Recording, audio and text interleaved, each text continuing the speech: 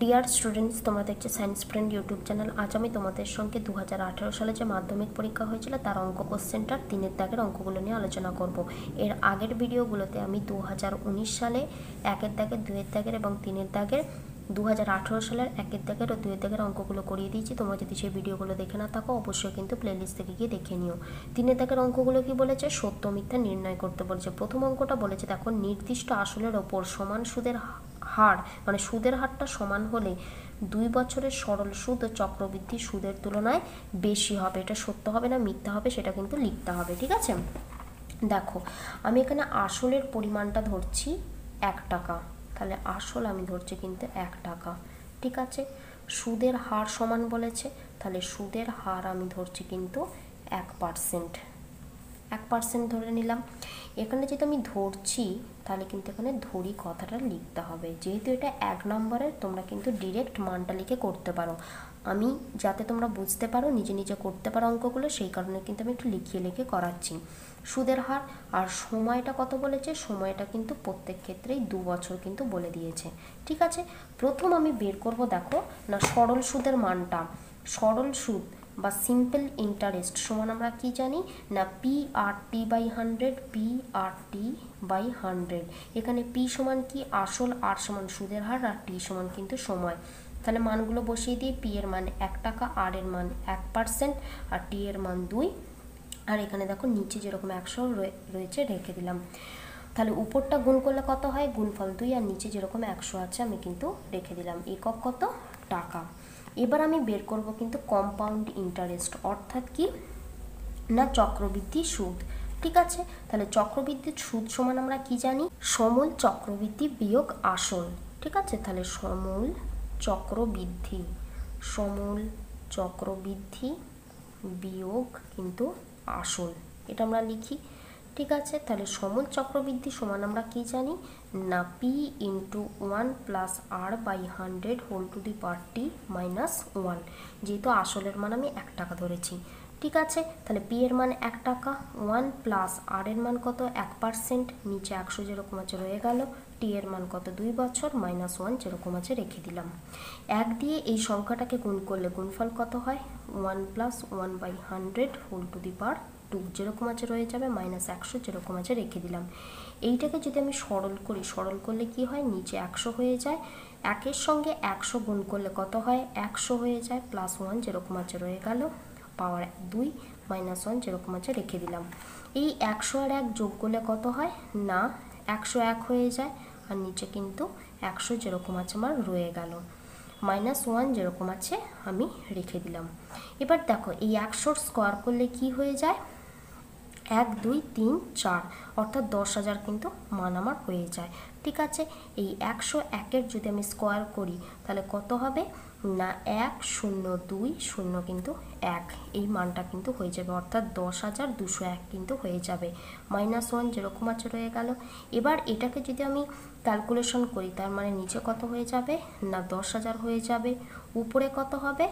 দশ হাজার দুশো এক মাইনাস কিন্তু এই একের সঙ্গে এইটা গুণ হয়ে গিয়ে দশ হাজার কিন্তু গুণফলটা আমার হয়ে যাবে লিখে দিলাম উপরের টাকা যদি আমি বিয়োগ করি বিয়োগফল কত হবে দুশো এক আর নিচে কিন্তু আমার দশ হাজার যেরকম আছে রয়ে যাবে আশা করি তোমরা বুঝতে পারলে এবার দেখো আমি দেখব যে এসআই এর মানটা কত এসআই এর মান কিন্তু দুই গুণিতক এই সরি দুই ভাজিতক কিন্তু একশো এটা আমরা জানি ঠিক আছে আর সিআই এর মানটা কত সিআই এর মানটা কিন্তু এইটা আমি পেয়ে গেলাম এবার দেখো এই একশোর সঙ্গে আমি কত গুণ করলে এই নিচের মানটা পাবো মানে নিচের দুটো কিন্তু আমি সমান করতে চাইছি তাহলে উপরের সংখ্যাটা দেখলে সহজেই বলতে পারবো যে কোনটা বড় কোনটা ছোট ঠিক আছে তাহলে আমি দেখো নিচে একটু লিখছি তোমাদের দেখাতে অসুবিধা হচ্ছে বলে দেখো ইসাইয়ের মানটা কত পেয়েছি না দুই ভাজি থাক একশো আর সিআই এর মানটা কত পেয়েছি না দুশো এক ভাজিতক একের পাশে কিন্তু চারটে শূন্য এই মানটা পেয়েছি তাহলে একশোর সঙ্গে কত গুণ করলে আমি এই মানটা পাবো একশোর সঙ্গে আর একটা একশো গুণ করলে তাহলে উপরেরটার সঙ্গে আমাকে একশো গুণ করতে হবে কারণ নিচেরটার সঙ্গে আমি একশো গুণ করেছি মানে উপরটার সঙ্গে আমাকে একশো গুণ করতে হবে তাহলে এইটার সঙ্গে এইটা গুণ করলে আমার এখন মান কত হয়ে যাচ্ছে না দশ হাজার কিন্তু আমার হয়ে যাচ্ছে ঠিক আছে আর উপরেরটার সঙ্গে মানে দুই গুণিতক একশো করলে কত হচ্ছে দেখো দুশো হচ্ছে আর এখানে সিআইয়ের মানটা কত দুশো এক বাই কিন্তু দশ হাজার ঠিক আছে এবার দেখব নিচেরটা দেখো সমান হয়ে গেছে তাহলে উপরের মধ্যে কোন দুটো মানে কোন সংখ্যাটা বেশি দেখো দুশো এক বেশি দুশোর থেকে তার মানে আমি এখান থেকে কি বলতে পারি সিআইয়ের মানটা কিন্তু বেশি কিন্তু কোশ্চেনে আছে দেখো যে সরল সুদের মানটা কিন্তু বেশি বলেছে তার মানে এটা মিথ্যা হয়ে যাচ্ছে তাহলে উত্তরটা কিন্তু তোমরা মিথ্যা বলে লিখে দেবে আশা করি তোমরা বুঝতে পেরেছ এবার আসছি পরের কোশ্চেনটা বলেছে দেখো দুয়ের কোশ্চেনটায় x cube y comma x square y square এবং এক্স ওয়াই কিউব ক্রমিক সমানুপাতে কিনা দেখতে বলেছে ঠিক আছে তাহলে এটাকে দেখার জন্য কি করতে হবে না এটাকে দেখার জন্য দেখো যেগুলো দেওয়া আছে আমি প্রথম লিখে নিচ্ছি দেওয়া আছে দেখো এক্স কিউব ওয়াই আর এক্স স্কোয়ার ওয়াই স্কোয়ার আর দেওয়া আছে কি এক্স ওয়াই কিউব এই তিনটে ক্রমিক সমানুপাতি কিনা দেখতে বলেছে কি করতে হবে না প্রথম দুটোর অনুপাত আমাকে প্রথম বের করতে হবে তাহলে প্রথম দুটো কি আছে দেখে নিই আছে দেখো এক্স কিউব ওয়াই ভাজিতক এক্স স্কোয়ার ওয়াই স্কোয়ার ঠিক আছে এ দেখ দুটো ওয়াই থেকে একটা ওয়াই নিয়ে নিলে পড়ে থাকে কত একটা ওয়াই তিনটে এক্স থেকে দুটো এক্স নিয়ে নিলে পড়ে থাকে একটা এক্স তার মানে উপরে আছে এক্স আর নিচে হলো ওয়াই তাহলে প্রথমে আমি এই দুটোর অনুপাত বের করলাম এবার আমি কার কার অনুপাত বের করব না এইটা আর এইটার কিন্তু অনুপাত বের করবো অর্থাৎ শেষ দুটোর অনুপাত তাহলে দেখো এখানে উপরে হয়ে যাবে এক্স স্কোয়ার ওয়াই স্কোয়ার আর নিচে হয়ে যাবে কিন্তু এক্স ওয়াই কিউব ঠিক আছে দুটো এক্স থেকে একটা এক্স নিয়ে নিলে পরে থাকে একটা এক্স তিনটে ওয়াই থেকে দুটো ওয়াই নিয়ে নিলে পরে থাকে কিন্তু একটা ওয়াই নিচে হয়ে যাবে তার মানে উপরে দেখো পরে রয়েছে এক্স আর নিচে কিন্তু ওয়াই তার মানে এই অনুপাত দুটো দেখো এখন কিন্তু সমান তার মানে এখান থেকে আমরা বলতে পারি এই তিনটে কিন্তু ক্রমিক সমানুপাতিতে আছে আশা করি তোমরা বুঝতে পেরেছ অঙ্কটা তাহলে উত্তরটা কি হয়ে যাবে সত্য হয়ে যাবে এবার আমি তিনের দাগের অঙ্কটায় আসছি কি বলেছে বলেছে দেখো অর্ধ বৃত্তাংস্থ কোণ অপেক্ষা ক্ষুদ্রতর বৃত্তাংস্থ কোণ স্থূলকোণ এটা সত্য হবে না মিথ্যা হবে এটা কিন্তু সত্য হবে কারণ তোমরা মনে রাখবে যে ক্ষুদ্রতর হলে এই কোণটা কিন্তু স্থূলকোণ হয় যদি এটা থাকতো বৃহত্তর তাহলে কিন্তু এটা সূক্ষ্মকোণ হয়ে যেত তার মানে এখানে অ্যান্সারটা কি হয়ে যাবে সত্য হয়ে যাবে তোমরা কিন্তু সত্য লিখে দেবে এবার আসছে চারের টার্ম দেখো সেক্স স্কোয়ার সেক্স স্কোয়ার সাতাশ ডিগ্রি মাইনাস কট স্কোয়ার তেষট্টি ডিগ্রি সরল মান ওয়ান কিনা সেটাই কিন্তু দেখতে বলেছে তাহলে আমি দেখো এটা হচ্ছে চারের অঙ্কটা যেটা দেওয়া আছে আমি প্রথম লিখে নিচ্ছি সেক্স স্কোয়ার কত না সাতাশ ডিগ্রি আর কট স্কোয়ার তেষট্টি ডিগ্রি এর মান ওয়ান বলেছে সেটাই কিন্তু আমাকে প্রমাণ করতে হবে সত্য না মিথ্যা প্রথমে দেখো আমি দেখব এই সাতাশ আর তেষট্টি যোগ করলে নব্বই হচ্ছে কিনা আমি দেখে নিই দেখো সাতাশ আর তেষট্টি আমি যদি যোগ করি আমার যোগফল নব্বই হয়ে যাচ্ছে তার মানে আমি এখান থেকে কি বলতে পারছি যে কোনো একটাকে কিন্তু আমাকে পাল্টাতে হবে তাহলে প্রথম আমি এইটাকে পাল্টাচ্ছি তোমরা এটাকে ধরেও কিন্তু করতে পারো কোনো অসুবিধা নেই আমি এইটাকে ধরে করছি দেখো কিভাবে পাল্টাচ্ছি না সেক্স স্কোয়ার এই সাতাশটাকে আমি কি লিখতে পারি না নাইনটি মাইনাস তেষট্টি আমি লিখতে পারি কারণ নব্বই থেকে তেষট্টি বিয়োগ করলে তবেই আমি সাতাশ পাই ঠিক আছে আর কট স্কোয়ার তেষট্টি যেরকম আছে আমি রেখে দিলাম এবার দেখো সেক্স স্কোয়ার নব্বই মাইনাস তেষট্টিটাকে আমি কিভাবে করতে পারি না এই সরি এর মানটা কি হয় না মানটা হয়ে যায় কিন্তু কোসেক স্কোয়ার তেষট্টি এই সরি মাইনাস নয় কোসেক স্কোয়ার তেষট্টি কিন্তু হয়ে যায় ঠিক আছে আর এখানে কট স্কোয়ার তেষট্টি কিন্তু হয়ে যায় cosec square theta minus cot square থিটার মানটা কোন কী হয় না সবসময় কিন্তু এক হয় তার মানে আমার উত্তরটা পেয়ে গেলাম এক আর এখানেও মানটা দেওয়া আছে এক তার মানে যেহেতু আমি এটা প্রমাণ করে ফেললাম উত্তরটার সঙ্গে এটা সত্য হয়ে যাবে এবার আসছি পাঁচের অঙ্কটা দেখো পাঁচের অঙ্কটা কি বলেছে একটি গোলকের ব্যাসার্ধ দ্বিগুণ হলে গোলকটির আয়তন প্রথম গোলকের আয়তনের দ্বিগুণ হবে কিনা দেখতে বলেছে ঠিক আছে অর্থাৎ কি না গোলকের ব্যাসার্ধটা এখন মানে দ্বিতীয় ক্ষেত্রে ব্যাসার্ধটা কিন্তু দ্বিগুণ হয়ে যাবে কার না প্রথমটা আশা করি তোমরা এইটুকুটা বুঝতে পেরেছ এবার দেখো গোলকের আয়তনের আমাকে সূত্রটা জানতে হবে গোলকের আয়তনের সূত্রটা কি না সরি চারের তিন পাই আর কিউব যেখানে আর হলো বৃত্তের ব্যাসার্ধ ঠিক আছে তাহলে এই আরের জায়গায় আমি কিন্তু আটটুর মানটা বসাবো তাহলে এখানে আমি আটটু লিখে দিলাম একবারে তাহলে চারের তিন পাই আটটুর মানটা কত না টু ইন্টু আর ওয়ান তার হোল কিউব কারণ কিউব এখানে আছে বলে আমি লিখে দিলাম পাওয়ারে এবার দেখো চারের তিন পাই দুয়ের কিউব করলে কত হয় আট হয়ে যায় আর আর ওয়ানের কিউব যেরকম আছে রেখে দিলাম এবার দেখো আটটাকে সামনে নিয়ে আসছি আর চারের তিন পাই আর ওয়ান কিউব যেরকম আছে রেখে দিলাম এইটা কি না প্রথম গোলকের ব্যাসার্ধ এই সরি আয়তন আর তার সঙ্গে কত গুণ আছে দেখো আট গুণ আছে তার মানে এখান থেকে আমি কি বলতে পারি না দ্বিতীয় গোলকের ব্যাসার্ধ এই সরি দ্বিতীয় গোলকের আয়তনের পরিমাণটা আট গুণ হবে কার না প্রথম গোলকের আয়তনের ঠিক আছে তাহলে কোশ্চেনে দেওয়া আছে কি দ্বিগুণ যেহেতু আমার এখানে আট গুণ বেরোচ্ছে তার মানে মিলছে না তার মানে উত্তরটা কি হবে না মিথ্যা কিন্তু হয়ে যাবে এবার আসছি দেখো পরের কোশ্চেনটা ছয়ের কোশ্চেনটা কি বলেছে দেখে নিই দেখো ছয়ের কোশ্চেনটা বলেছে নিচের পরিসংখ্যা বিভাজনটির সংখ্যাগুরু মান হলো তিন তোমরা কোশ্চেনটা ভালো করে খেয়াল করো এখানে দেখো স্কোর যেটা দেওয়া আছে সেই লাইনটাতে দেখো এক দুই তিন চার পাঁচ এরম করে দেওয়া আছে আর পরিসংখ্যাতে দেখো বারো পনেরো কুড়ি আঠেরো আর পনেরো ঠিক আছে সংখ্যাগুরু মান তোমরা জানো যেটাকে মোট বলা হয় ইংরেজিতে সেটা কি না পরিসংখ্যা হিসাবে যার মানটা সব থেকে বেশি হবে সেটাই হচ্ছে সংখ্যাগুরু মান এখানে দেখো পরিসংখ্যার ঘরটাতে তোমরা খেয়াল করো কুড়ি হচ্ছে সব থেকে বেশি তার মানে কি হচ্ছে না কুড়িটাই কিন্তু আমাদের নির্ণয় অ্যান্সার হবার কথা ছিল কিন্তু এখানে আছে কত তিন তার মানে উত্তরটা কি হয়ে যাবে মিথ্যা কিন্তু হয়ে যাবে আশা করি তোমরা অঙ্কটা বুঝতে পেরেছ এবার আসছি দেখো দু হাজার সতেরোর একের দাগের কোশ্চেনগুলো দু হাজার সতেরোর আমি একে দাগের কোশ্চেনগুলো নিয়ে আলোচনা করছি তোমাদের সঙ্গে দেখো প্রথম কোশ্চেনটা কি আছে না প্রথম কোশ্চেনটা আছে দেখো কোনো আসল ও তার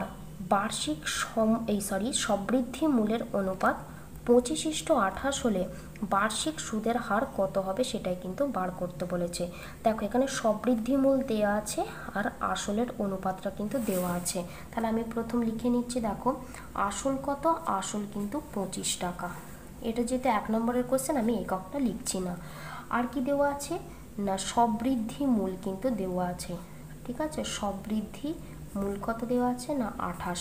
এখান থেকে আমি বের করব কিন্তু মানে সরল সুদের পরিমাণটা অর্থাৎ এসআই এর মানটা এসআই সমান আমি কি জানি না সবৃদ্ধিমূল বিয়োগ আসল এটাই আমরা জানি তাহলে সবৃদ্ধিমূলের মানটা কত আঠাশ বিয়োগ আসল আসল কত পঁচিশ যদি বিয়োগ করি বিয়োগফল কত হচ্ছে তিন তাহলে এসআই এর মান কিন্তু আমি তিন পেয়ে গেলাম এস আই আমরা তিন জানি তাহলে এসআই সমান আমরা আরও কি জানি না P R T by hundred এটাও কিন্তু আমরা জানি তাহলে তিন সমান আমরা কি লিখতে পারি পি এর মান দেখো কত পঁচিশ আর এর মান আমাকে বের করতে বলেছে আর টি এর মান কত টি এর মান কিন্তু এক বছর ঠিক আছে আমি পাশে লিখে দিচ্ছি টি এর মান কিন্তু এক বছর আর নিচে কত একশো পঁচিশ আর একশো কাটলে কত হয় চার হয়ে যায় এই চারটা তিনের সঙ্গে গুণ হয়ে গিয়ে গুণফল কত হয়ে যাবে বারো আর এখানে কিন্তু আর আমার পড়ে রয়েছে তার মানে আর যেহেতু সুদের হার আমার সুদের হারটা কত বেরোলো বারো পার্সেন্ট কোনটাতে আছে দেখবো বিটাতে আছে তাহলে অপশান বি কিন্তু আমাদের কারেক্ট অ্যান্সার হয়ে যাবে এবার আসছি কিন্তু দুইয়ের কোশ্চেনটা কি বলেছে কোন শর্তে a x square plus b x plus c সমান জিরো দ্বিঘাত সমীকরণটির একটি বীজ শূন্য হবে যদি যেটা যে দ্বিঘাত সমীকরণটা দেওয়া আছে তার ধ্রুবক পদ যদি শূন্য হয় তাহলে কিন্তু এই দ্বিঘাত সমীকরণটির একটি বি শূন্য হবে তাহলে দেখব ধ্রুবক পদ বা সি যেটা দেওয়া আছে সেটাতে মানে সি সমান জিরো কোন অপশানে দেওয়া আছে দেখো অপশান সিতে তাহলে অপশান সিটা কিন্তু আমাদের কারেক্ট অ্যান্সার হয়ে যাবে এই কোশ্চেনগুলো কিন্তু তোমরা ভালো করে প্র্যাকটিস করবে অর্থাৎ দুয়ের দাগের কোশ্চেনগুলো ঠিক আছে কারণ অনেক মানে ছোট ছোট এমন কোশ্চেন দেয় সেগুলো হয়তো মাঝে মাঝে ভুল হয়ে যেতে পারে সুতরাং বেসিক জিনিসগুলো ভালো করে বুঝেই কিন্তু প্র্যাকটিস করো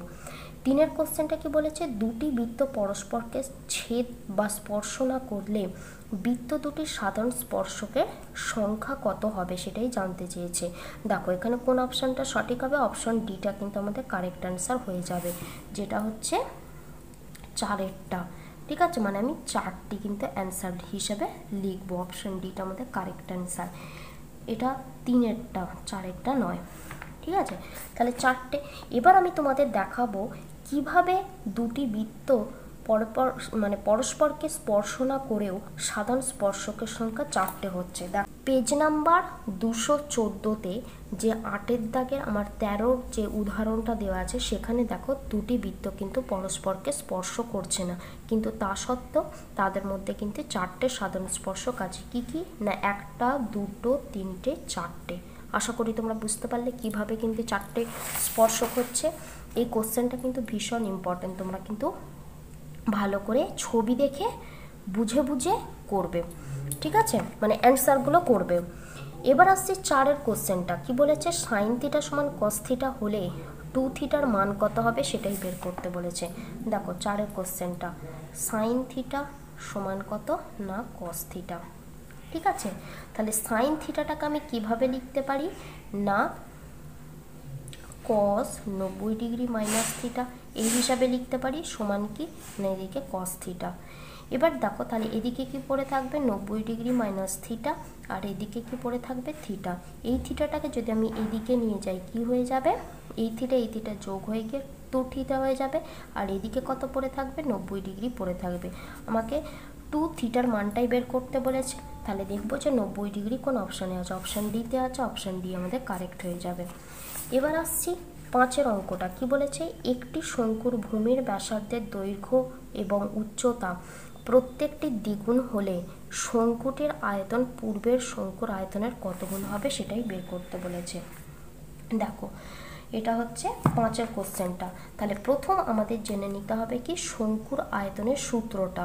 কি সূত্র না একের তিন কিন্তু পাই হার স্কোয়ার এইচ ঠিক আছে এবার দেখো আমাদের বলেছে কি আর টু এর মানটা যেটা হচ্ছে দ্বিতীয় ক্ষেত্রে ব্যাসার্ধটা হবে সেটা কত বলেছে না দ্বিগুণ হবে প্রথমটার অর্থাৎ টু ইন্টু আর ওয়ান হয়ে যাবে একইভাবে এইচ টুটাও কত হবে না টু ইন্টু এইচ ওয়ান হয়ে যাবে তাহলে এই জায়গাগুলোতে এখন কিন্তু আমি মানগুলো বসাবো তাহলে একের তিন পাই আর টু তার হোল স্কোয়ার আর এইচ টু তাহলে একের তিন গুণিতক পাই গুণিতক আর টুর মান কত টু ইন্টু আর ওয়ান তার হোল স্কোয়ার গুণিতক টু ইন্টু এইচ ওয়ান ঠিক আছে তাহলে একের তিন পাই আর স্কোয়ার অর্থাৎ দুয়ে স্কোয়ার করলে কত হয় চার হয়ে যায় আর ওয়ানের স্কোয়ার করলে আর ওয়ান স্কোয়ার আর এখানে টু এইচ ওয়ান যেরকম আছে রেখে দিলাম এই চার আর দুই আমি যদি গুণ করি গুণফল কত হচ্ছে আট হচ্ছে আর বাকিগুলোকে আমি এক জায়গায় রেখে দিচ্ছি তাহলে একের তিন পাই আর ওয়ান স্কোয়ার এইচ ওয়ান এইটা কি এইটা হচ্ছে প্রথম ক্ষেত্রে শঙ্কুর আয়তন আর তার সঙ্গে দেখো আট গুণ আছে তাহলে আমি এখান থেকে কি বলতে পারি দ্বিতীয় ক্ষেত্রে শঙ্কুর আয়তন প্রথম শঙ্কুর আয়তনের কিন্তু আট গুণ এবার দেখবো কোশ্চেন আমার আটটা কোন অপশানে আছে দেখো অপশান ডিতে আছে অপশান ডি আমাদের কারেক্টার হয়ে যাবে এবার আসছে ছয়ের অঙ্কটা বলেছে দেখো দুই আট দুই তিন আট পাঁচ নয় পাঁচ ছয় এই সংখ্যাগুলির মধ্যমা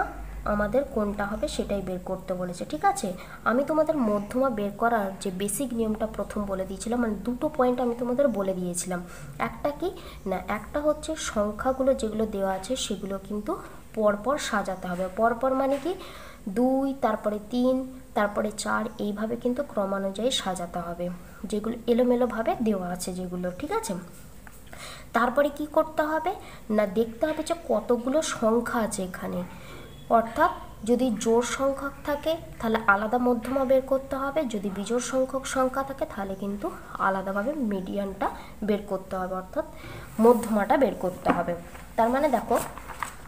এখানে যে সংখ্যাগুলো এলোমেলোভাবে দেওয়া আছে আমি সেগুলো কিন্তু প্রথম সাজিয়ে নেব কিভাবে সাজাচ্ছি দেখো প্রথমে আছে কি না দুই কতগুলো দুই আছে না দুটো দুই আছে আমি দুটো দুই লিখে দিলাম তারপরে কি আছে না তিন একটা আছে লিখে দিলাম তারপরে কত আছে দেখো চার নেই পাঁচ আছে কটা পাঁচ আছে দুটো পাঁচ আছে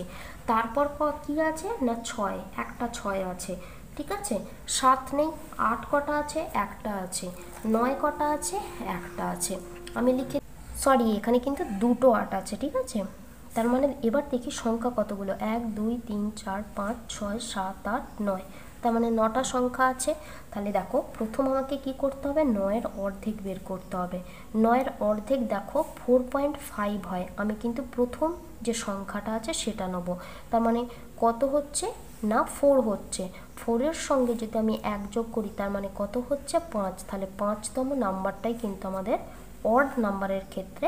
আমাদের মিডিয়ানটা হয়ে যাবে তাহলে দেখব পাঁচতম নাম্বার কোনটা এক দুই তিন চার পাঁচ তাহলে এইটা হচ্ছে তাহলে এইটাই কিন্তু আমাদের সঠিক অ্যান্সার হবে এবার দেখব এটা কোন অপশানে আছে সেটা আমরা একটু দেখে নিই দেখো অপশান ডিতে আছে তাহলে অপশান ডিটা কিন্তু আমাদের কারেক্ট অ্যান্সার হয়ে যাবে আশা করি তোমরা বুঝতে পেরেছো আজকের ভিডিওতে আমি যে অঙ্কগুলো করালাম তার মধ্যে যদি কোনো জায়গা তোমাদের বুঝতে অসুবিধা হয় তোমরা কিন্তু অবশ্যই কমেন্ট সেকশানে কমেন্ট করো